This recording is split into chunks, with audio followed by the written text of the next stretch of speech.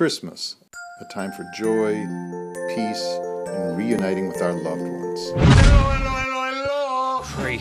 The crazies are having a party tonight. I doubt any of them are gonna show up. Merry Christmas! Oh, Ange, you made it! Yeah! I brought my girlfriend, Alicia. He tells everyone I'm Greek. She can count to ten in Greek. He said that he can make it. Does he still have that fake Greek accent? Thank you so much. I appreciate that. Am I the only one that thinks that's a little. I was thinking about what to bring for Christmas. My Althea just became a registered therapist, and I thought maybe she could give us all a little therapy. We're gonna go to therapy on Christmas Eve? This is gonna be fun. Can I get an amen? Amen. Thank you, my great sister.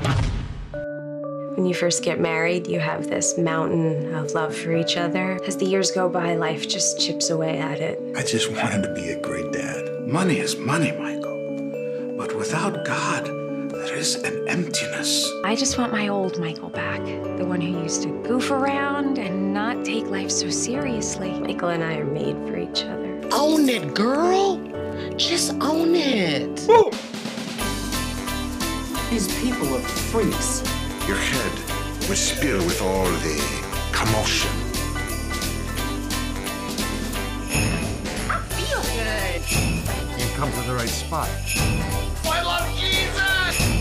We're like a Greek hallmark on. Oh, shuck it, duck it. What you gonna do with that dynamite? I'm gonna go ba-bam. Oh, don't say that. Don't. Oh, ba-bam. They're a bunch of nut jobs. Excuse me.